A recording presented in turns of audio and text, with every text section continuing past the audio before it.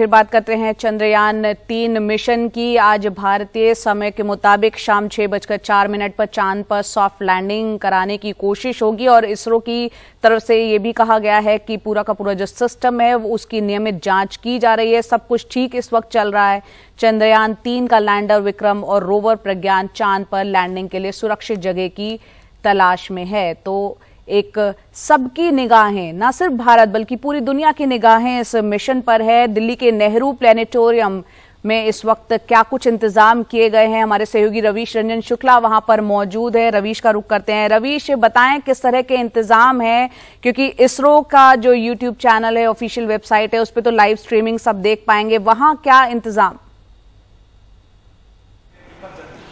जी देखिए, जया, चंद्रयान जो थ्री है, वो आज एक बहुत ही वैज्ञानिक दृष्टिकोण से ऐतिहासिक इसका महत्व है। और यही वजह है कि नेहरू प्लानिटोरियम में अगर मैं आपको दिखाऊँ तो यहाँ पर आज तमाम सारे जो बच्चे हैं, मीडिया का तमाम सारा जमावड़ा है। तो यहाँ पर आप देखिए कि प्रज्ञान रोवर एक मॉडल लगाया गया है, विक्रम लैंडर जो कि उतरेगा और उसके बाद में प्रज्ञान रोवर जो जाएगा, वो सारा यहाँ पर मॉडल लगाया गया है। और इसके साथ में ना सिर्फ़ इस तरीके के मॉडल लगाए गए हैं, बल्कि आ, मैं आपको दिखाऊँ तो इस तरीके से आ, एक जर्नी दिखाई गई है कि जो इसरो की जर्नी है वो किस तरीके से शुरू हुई यानी पीएसएलवी जो चंद्रयान पहला जो भेजा गया था 2008 में वो पी के ज़रिए भेजा गया था और अब हम जी से इस तीसरे चंद्रयान को भेजने में हम आ, हमने सफलता हासिल की है। तो ये एक जर्नी को दिखाया गया है कि किस तरीके से भारत ने आ, एक आ, इस तरीके से वैज्ञानिक एक ऊंचाई हासिल की है। पिछले 20-25 सालों में तो उसकी पूरी जर्नी को यहाँ पर दिखाया गया है। नेहरू प्लानिटोरियम में आप देखिए कि कुछ ही देर के बाद में एक शो दिखाया जाना है जो कि मीडिया के लिए दिखाया जाना है। तो वो अभी शो जो है वो शुरू होने वाला है। हम उसकी भी झलक आपको दिखाने की कोशिश करेंगे। तो तमाम सारा यहाँ पर मीडिया का जमावड़ा लगा हुआ है और उस शो को दिखाने की तैयारी पूरी हो चुकी है। लेकिन फ़िलहाल जो नेहरू प्लानिटोरियम है, आज दिन भर यहाँ पर तमाम जो साइंटिस्ट हैं, वो यहाँ पर पहुँचेंगे। तमाम अलग अलग स्कूलों के जो बच्चे हैं, वो यहाँ पर पहुँचेंगे।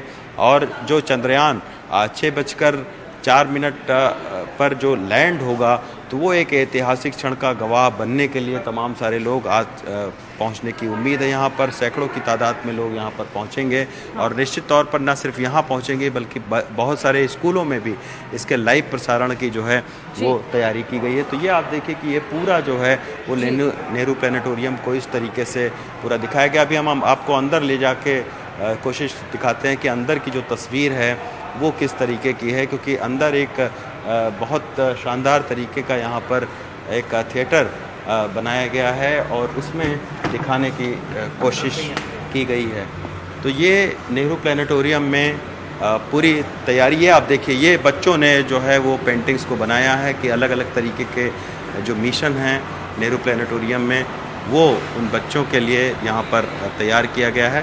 तो आज दिन भर इस तरीके के चंद्रयान थ्री का जो लॉन्च लॉन्चिंग है उसको देखने के लिए उस क्षण का गवाह बनने के लिए तमाम सारे लोग यहाँ पर उपस्थित होंगे। वैज्ञानिक यहाँ पर आएँगे लोगों को समझाएँगे कि किस तरीके से ये चंद्रयान थ्री का पूरा जो ऑपरेशन है वो होगा। किस तरीके से ये लैंड करेगा? बिल्कुल सॉफ्ट लैंडिंग साउथ पोल पर होनी है। छः बजकर शाम छः बजकर चार मिनट वो वक्त होगा। सबकी निगाह उस पर टिकी रहेगी। बहुत बहुत शुक्रिया। रवीश इस पूरी जानकारी के लिए आपका।